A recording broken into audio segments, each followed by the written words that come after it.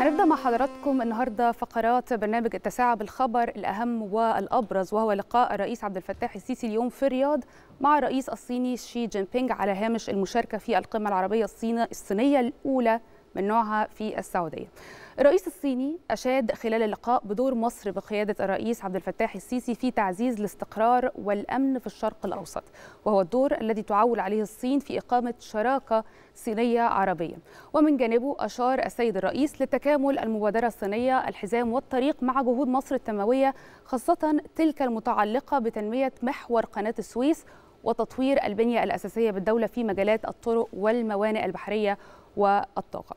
مشاركة الرئيس في القمة العربية الصينية تأتي في إطار حرص مصر على تدعيم وتطوير أواصر العلاقات التاريخية المتميزة بين الدول العربية والصين طبعا فضلا عن تعزيز آليات العمل المشترك حيث ستهدف القمة لبناء إلى البناء على الحوار السياسي الممتد إلى جانب التشاور والتنسيق بشأن سبل تعظيم آفاق التعاون المتبادل على الصعيدين الاقتصادي والتنموي إلى جانب بحث مساعي الحفاظ على الأمن والاستقرار الإقليمي والدولي. الحقيقة انه هذه القمة بتأتي في وقت مهم جدا ودقيق وهذه القمة على هامشها في آه ثلاث قمم أخرى القمة الصينية الخليجية القمة الصينية العربية وأيضا القمة الصينية السعودية.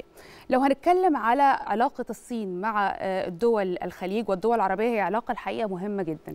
ليه؟ لأنه الصين خلينا نقول هي تايكون رقم مهم جدا في معادلة الاقتصاد العالمي تاني أهم اقتصاد في العالم. كمان حجم التبادل التجاري بين الصين ودول الخليج العربي حوالي 330 مليار دولار رقم ضخم جدا. دول الخليج العربي أكبر مصدر للنفط والصين تعتبر أكبر مستهلك للنفط.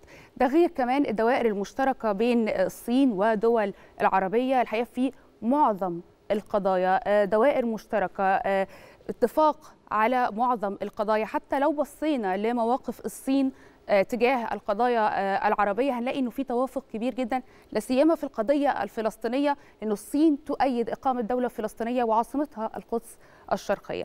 طيب لو بصينا على الصعيد الداخلي وعلاقة الصين مع مصر هي أيضا علاقة هامة جدا زي ما قلت لحضراتكم حجم التبادل التجاري بين الصين ودول الخليج دول الخليج العربي حوالي 330 مليار دولار. حوالي تلتها بين مصر والصين.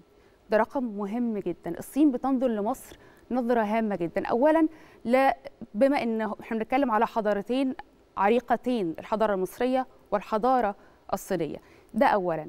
ثانيا العلاقة الدبلوماسية اللي بدأت أو اللي ابتدتها مصر سنة 56 بفكرة أنها 56 إنها انشاء وإقامة الدولة أو جمهورية الصين الشعبية وبعد كده توالت بقى كمان العلاقات الدبلوماسية بين الصين وباقي الدول العربية.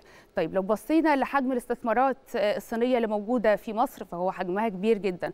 الصين بتنظر لمصر إنها بوابة إفريقية، الصين تنظر لمصر على إنها رمانة الميزان في المنطقة العربية وفي الشرق الأوسط. وزي ما شفنا إشادة الرئيس الصيني شي جين بينغ بالدور المصري الفعال في القضايا المتعلقة بالشرق الأوسط. أيضا لو تابعنا حديث سيادة الرئيس عبد الفتاح السيسي طول الوقت عن اهتمامه بالقارة الأفريقية والتنمية المستدامة في القارة الأفريقية. ودي كمان نقطة مهمة جدا لأن الصين بتنظر للقارة الأفريقية على إنها سوق بكر وسوق غني.